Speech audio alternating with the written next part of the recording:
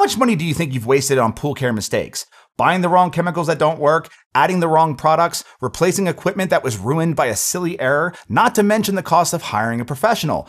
Well, good pool care costs money, but the wrong pool care costs even more. So here are three mistakes that can cost you big time. Number one is bad pH or calcium hardness levels. Both will destroy your equipment, shaving years off the life of your pump, your heater, or your salt system. Number two is buying algicide as a magic bullet. If you've added algicide to the water thinking it'll solve all of your green water problems, only to find out that it didn't work, well, you're not alone. Shocking, consistent sanitizing, and keeping the water pH balance is the first line of defense. Number three is overspending on pool branded chemicals. Many pool chemicals are just repackaged household products. Alkalinity increaser is the same as baking soda, sodium bicarbonate, which is sometimes sold at three times the price. So stop flushing money down the drain by keeping your water balanced, sanitized, and switching to household products where it makes sense.